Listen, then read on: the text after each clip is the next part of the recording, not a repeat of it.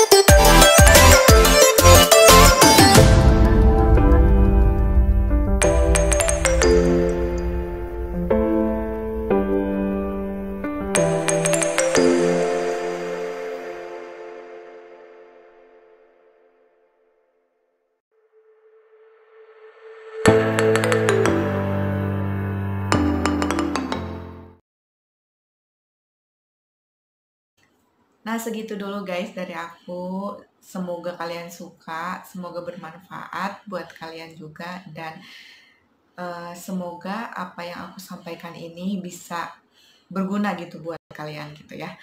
Dan oke, okay, segitu aja. See you next time, see you next video and bye bye.